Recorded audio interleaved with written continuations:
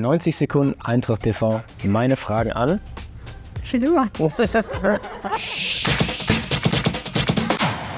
Eine neue Folge der 90-Sekunden-Challenge. Heute zu Gast Philipp Max. Gute erstmal Philipp. Gute? Bereit? Ich bin bereit. Die Spielregeln sind klar? Mhm. Okay, dann Let's go. 90 Sekunden hast du Zeit. Wir starten in 3, 2, 1.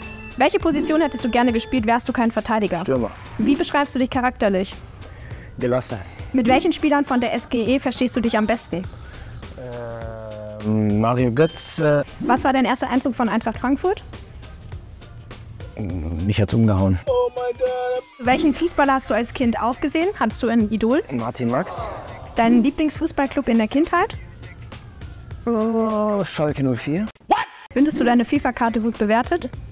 Nein. Was ist dein Lieblingsgericht? Das Kind des Ruhrgebiets. Currywurst mit Pommes.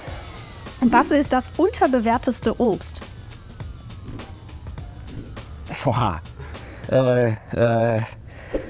Granat. Was braucht man, um ein guter Fußballer zu werden? Hunger. Der Film mit. Der Film, bei dem du emotional wirst? Ähm, oh, shit. Ähm, wie, äh, ähm, ähm, wie heißt der? Shit. Hachiko. Freistoßtor oder Volleytor? Ja. Freistoßtor. Lieber Verteidiger oder Schienenspieler? Schienenspieler. Willst du bei der Heim-EM Teil der Nationalmannschaft? Absolut. Wenn du ein Tier wärst, welches wärst du dann? Wolf.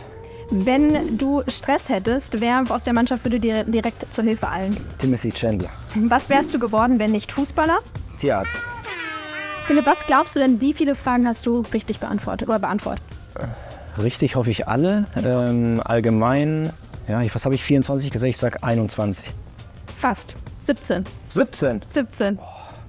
Also du bist im Ranking Frau Rubinkoff. Nur vier mehr?